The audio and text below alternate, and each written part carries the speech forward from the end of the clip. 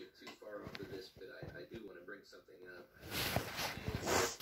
Oh, And, uh, the last day move of God. We're talking about what God is doing it's been a long day so far. in the movement.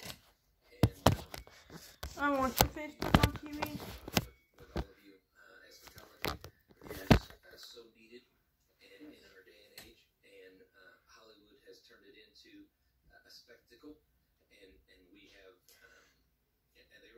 Continue to make movies that that make end times look like a spectacle, make it look like uh, uh, something that almost is spooky, if you will. Uh, the book Revelation is not revelations; it's the revelation of Jesus Christ. Uh, it's about His return. It's an exciting time for the church. Um, the gospel is the good news, not the bad news. And uh, when you're talking about eschatology, I like uh, filming of times myself. People like to focus on it because they think it's dark, uh, and they, they, they want to focus on all the bad things that are happening.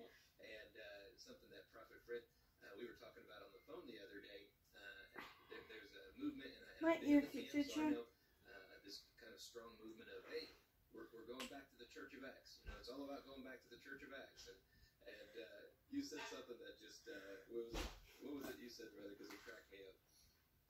I said, well, yeah, and, uh, we want to go back to the church of Acts. I said, yeah. Uh, at the church of Acts, we had people that were being uh, uh, um, hung on crosses from uh, all the way down the road. It was put in, uh, in, in the, and then with, with lions in the arena with lions, and they were killed. And, uh, and then, uh, you know, persecuted. Yeah, we want to go back to the book of Acts. Uh, Acts, uh, I can't- oh, I mean, it's It's just been a long day.